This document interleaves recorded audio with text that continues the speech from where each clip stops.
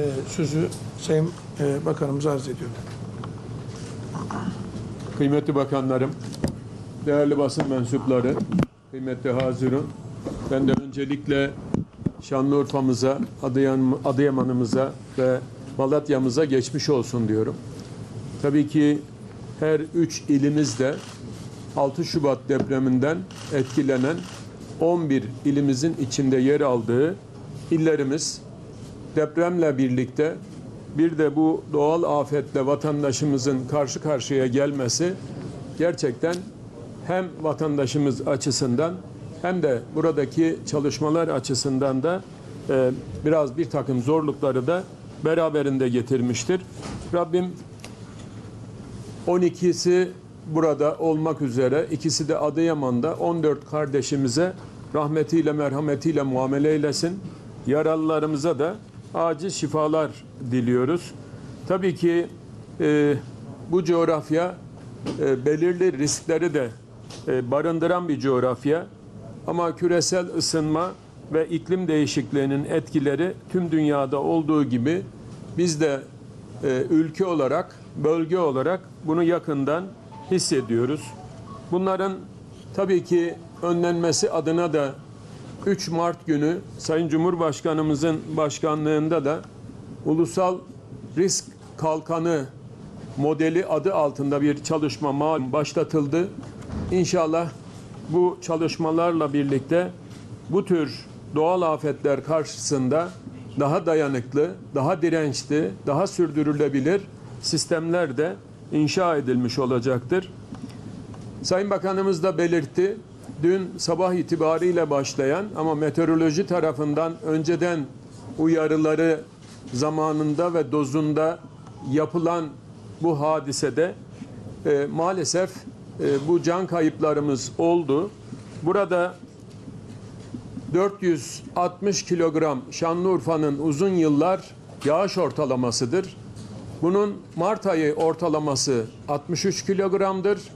Ama tam bunun iki katı bir yağış iki günde Şanlıurfa'mızın topraklarıyla, coğrafyasıyla buluşmuş durumdadır. Bu şu anlama gelmektedir.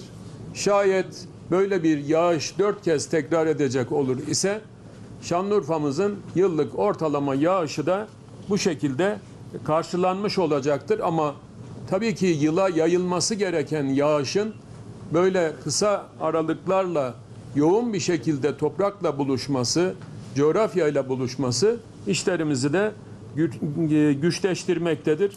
Tabii ki bu olağanüstü bir durumdur. Değerli arkadaşlar, Şanlıurfa'nın da içinde yer aldığı bu konuştuğumuz coğrafya bizim aynı zamanda da tarımsal üretimimiz açısından stratejik öneme sahiptir. Yani 11 ilimiz zaten stratejik iller arasında yer alıyordu.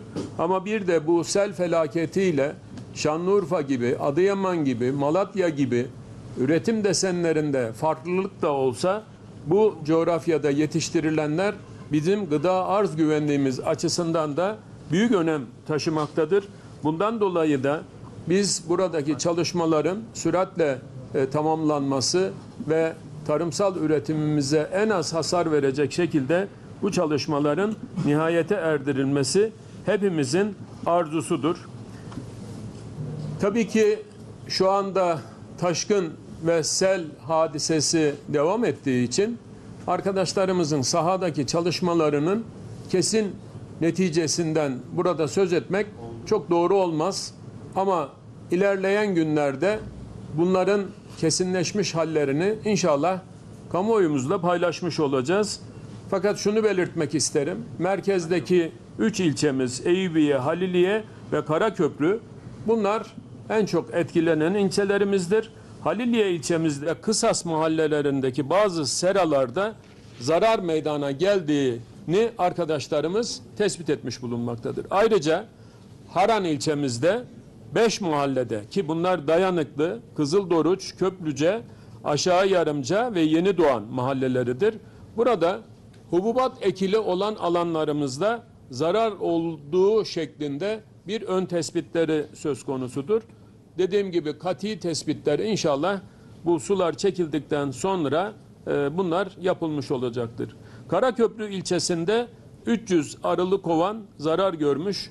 Şimdilik 8 büyükbaş ve 8 de küçükbaş hayvanın telef olduğu bilgisi de yine arkadaşlarımızın tespitleri arasında yer almaktadır. Ekiplerimiz yağışların devam etmesi ve arazi koşullarının uygun olmaması nedeniyle henüz tamamlanamayan bu çalışmalar tamamlandığında inşallah süratle biz de burada vatandaşımızın zarar ve ziyanı konusunda atılması gereken adımlar konusunda da yardımcı olacağız. Sel afeti nedeniyle DSİ sorumluluğundaki tüm tahliye kanallarımız şu anda açık durumdadır arkadaşlar. Bunun özellikle bilgisini vermek isterim.